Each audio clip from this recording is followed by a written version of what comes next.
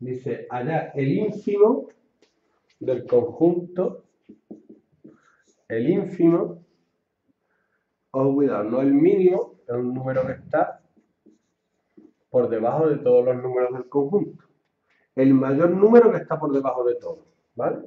Entonces en este hacemos la inecuación x cuadrado menor que pi para saber cuál es el conjunto. Yo resuelvo x cuadrado igual a pi y me salen dos soluciones. Más raíz de pi y menos raíz de pi.